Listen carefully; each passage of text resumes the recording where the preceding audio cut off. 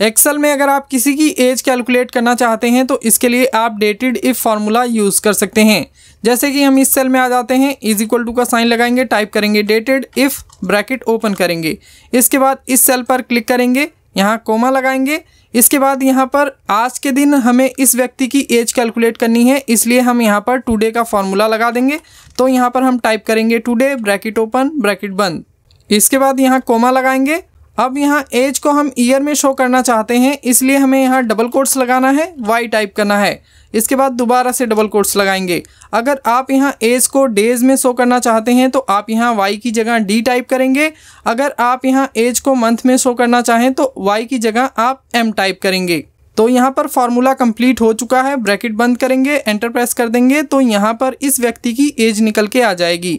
इसके बाद इस फार्मूला को हम बाकी सभी सेल में अप्लाई कर देंगे तो यहाँ पर सभी व्यक्ति की एज निकल के आ जाएगी।